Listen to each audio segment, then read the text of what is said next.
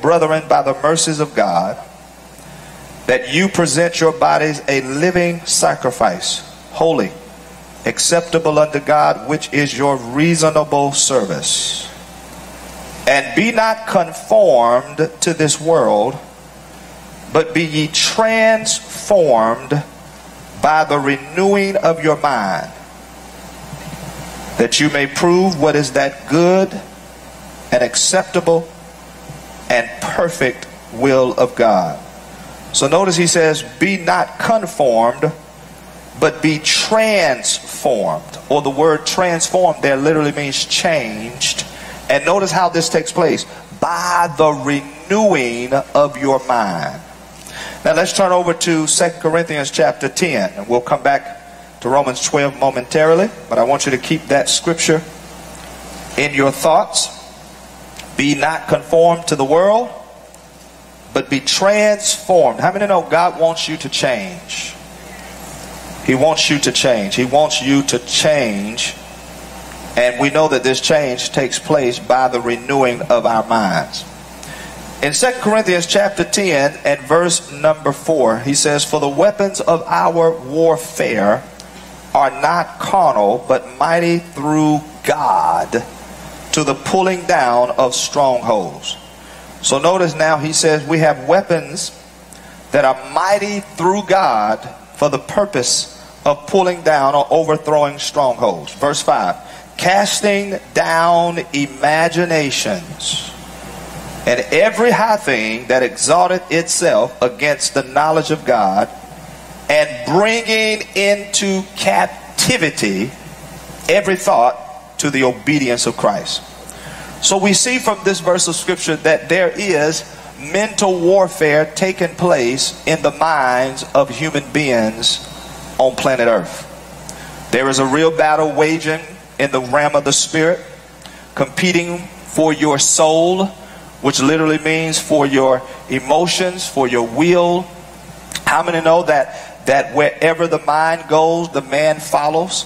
So the enemy is attacking our minds because he knows the mind is the battleground. He knows the mind is the bullseye. It is the place where Satan aims. It is the place where he targets his attacks. Because he knows that if he can captivate your thoughts, if he can develop strongholds in your mind, then he can in essence control your life. Because a man or a woman is the product of their thoughts. You are what you think. I said, You are what you think.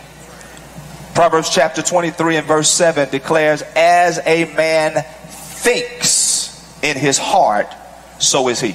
You cannot separate who you are from what you think. So if you're going to change who you are, if you're going to change what you have, if you're going to change what you're doing, you've got to first of all change how you think. Because how you think produces behavior how you think produces behavior. Now let's go back to Romans, the 12th chapter. Romans chapter 12. So I've got to change my thoughts if I'm going to change my life. See, people who attempt to change their behavior without changing their thoughts will never experience permanent change. See, you may see temporary change, but you'll never see permanent change until you change how you think. Because how you think is what's producing how you behave. Jesus said over in Mark chapter 7, he said, It is not the things that come outside of a man that defiles him, but it's the things that comes out of the man that defiles him. And the first thing that comes out of a man is evil thoughts. And he goes to show us that evil thoughts are the products of all type of negative behavior. So if I'm going to change my behavior, I've got to change my thoughts. See, most people look at their lives and they don't like their life. They don't like what they're doing. They don't like what they're experiencing. They don't like what they have. But yet they try to change what they see by changing something external. They think if I just change this relationship, get a new man, then life will be happier. But what you discover is you get a new man and you're still unhappy because it's not the man that you was with necessarily, it's you because if you can change your thoughts, then you can change your outcome. Well, let me get a new job because, you know, I just need to change my environment. Well, you can change your environment, but if you don't change from the inside out, then no matter what environment you're in, the environment won't have much impact on your life because the change doesn't need to come from the outside. The change needs to come from the inside. So I've got to change what I think about. I've got to change what's going on on the inside of me because it is what's happening inside of me that's affecting what's happening outside of me. Are you listening to me? All right, Romans the 12th chapter.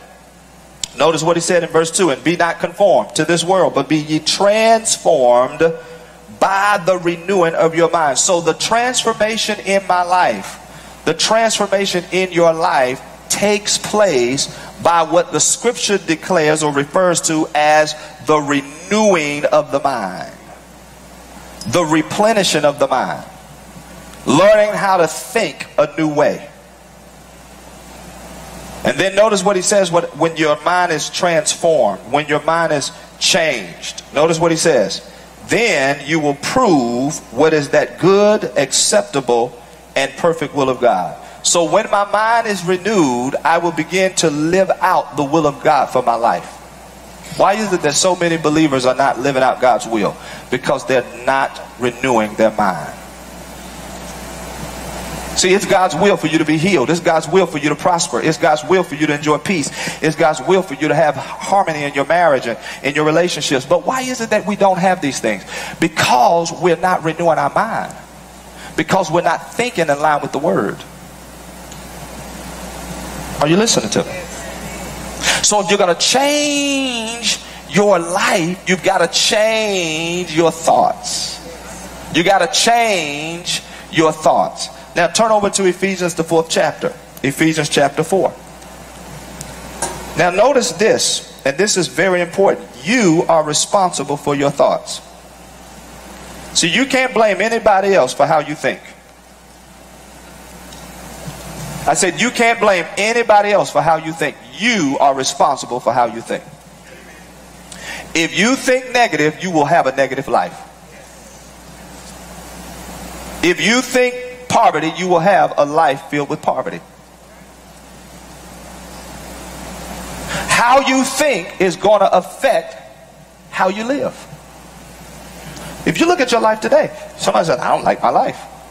I, I, don't like what I have. I don't like the fruit that I see in my life. I don't like my relationships. I don't like my finances. I don't like nothing that's going on in my life. Well, let me let me suggest to you, change how you think. See, happiness is an inside job. And this is why the Bible admonishes us to guard your heart, for out of the heart, Proverbs 4:23, flows the issues of life. So every issue in life comes out of my spirit. Comes from the inside out, not from the outside in. Your circumstance has nothing to do with your happiness. This is good teaching. I said your circumstance has nothing to do with your happiness. Because when a man is thinking in line with the word, circumstances can be going awry. I mean, there could be crazy things happening in his life, but yet he can have joy unspeakable and full of glory because he knows that joy is not the product of what's going on around him. Joy is the product of what he knows on the inside. And this is why James says, Count it all joy, knowing this this is why the enemy wants to rob you of knowledge because he knows that what you know affects how you live. My people are destroyed for a lack of knowledge. See, you think the only way you can be happy is when things around you are going good. You think the only way that you can have peace is when everything around you is serene and calm. No, my brothers and sisters, right in the midst of storms, you can sleep.